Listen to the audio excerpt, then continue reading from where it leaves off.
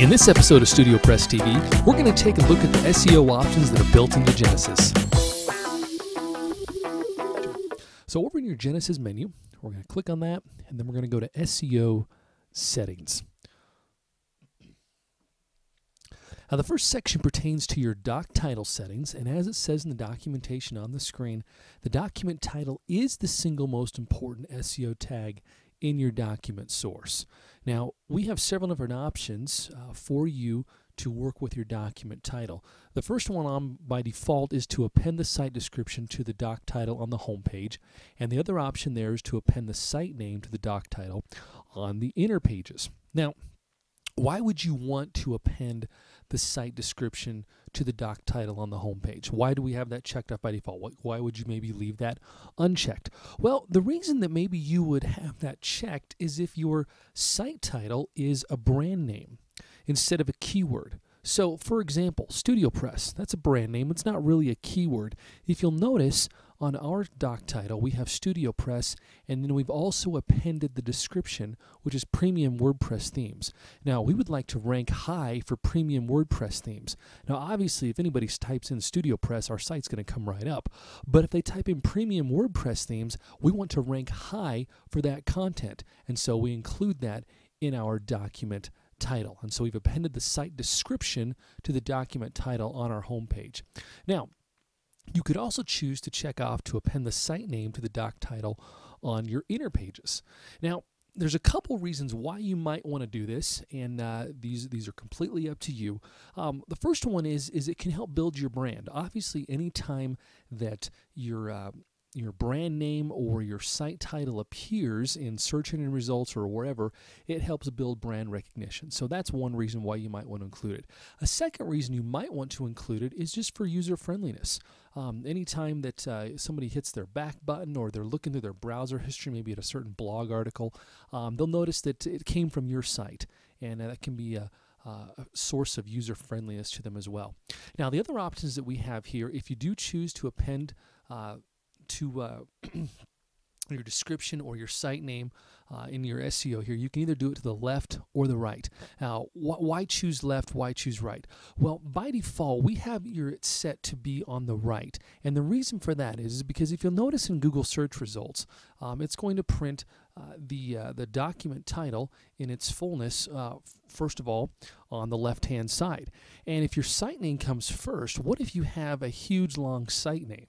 Well, the problem is, is that the person who's looking through those search results, they're going to see uh, your huge long site name, and Google may truncate uh, your document title, and they may not see that entire document title or the document title at all, and uh, they might not even click on that uh, result. So, what we recommend that you do is that you keep uh, that uh, site name. If you're going to go ahead and append that, keep that on the right hand side. Um, now, for some examples, you might need to keep it on the left, but that would be individual cases only. Now, down under the homepage settings, uh, we're going to determine what text we would like to have wrapped in H1 tags. Now, as we say here, the H1 tag is arguably the second most important SEO tag in the document source. And so we encourage you to choose wisely. Now, by default, we are going to have the site title wrapped in an H1 tag, but you could also choose the site description or you could choose neither. Now, why would you choose the site description possibly over the site title? Well, if really depends on what you want to rank for.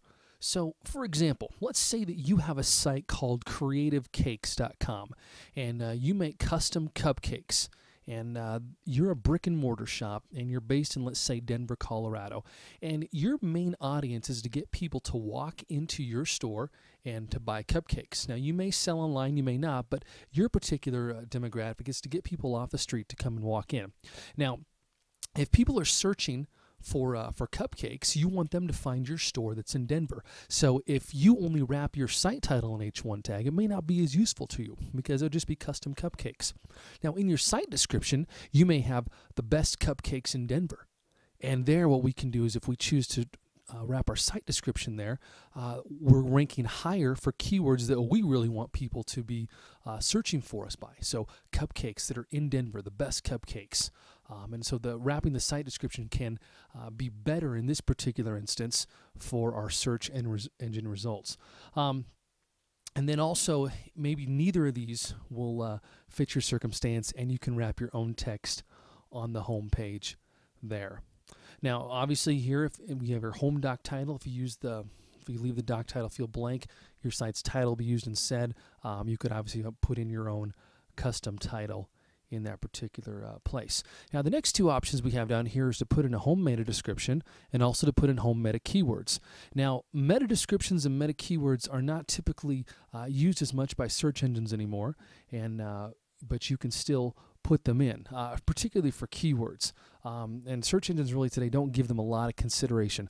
One reason why it could be helpful to uh, put in keywords here is it can help you start to think about what content you want to rank high for. Um, and the meta description actually does appear, and uh, that can be used uh, in, in search engine results to show maybe what your site is about.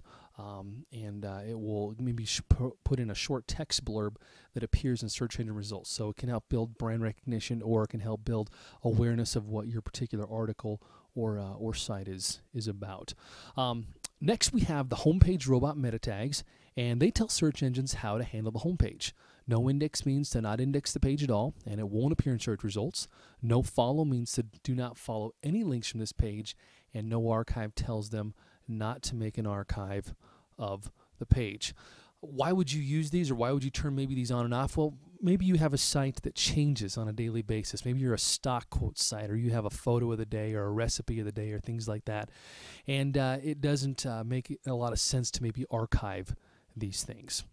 Now, the next document we have down there is the document head settings.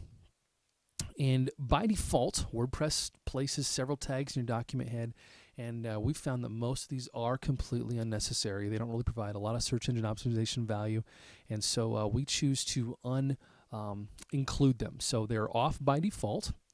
Now, you may have a specific need for a plugin or a non-typical use, and uh, we do enable, uh, we do allow you to enable them here if you want to. Robot meta settings, depending on your situation, okay, you can uh, choose to uh, archive the following pages um, or to allow them to be indexed by search engines, and uh, it's going to really depend on your particular situation. Um, we would recommend that at least one archive should be indexed, but indexing multiple archives will typically result in a duplicate content penalization uh, which is multiple pages with identical content. It looks manipulative to search engines. So for most sites, either the home page or the blog page, uh, if you use the blog template in Genesis, will serve as this index. And that's why the default is not to index categories, tags, authors, dates, or searches in this particular instance here. We also have archive settings. And what this does is canonical links will point search engines to the front page of paginated content. So search engines have to choose the preferred link when there's duplicate content on pages. And what this does when it's checked off is it tells them that this is paged content and the first page starts here. And what it does is this helps avoid spreading keywords across multiple pages. Now, I do want to mention here that if you have another search engine optimization plugin installed, that uh, it will automatically uh, turn our options off, and so you don't need to worry about uh, them conflicting. And if it's a well-known one, if it's not as well-known, if you're not sure, hit us up on the support form, and uh, and we'll let you know for sure. But those are some of the Genesis search engine optimization settings that you can uh, play with, and uh, hopefully uh, you'll be getting a lot of search results and a lot of um, traffic to your site based on what we've been able to do for you here in Genesis.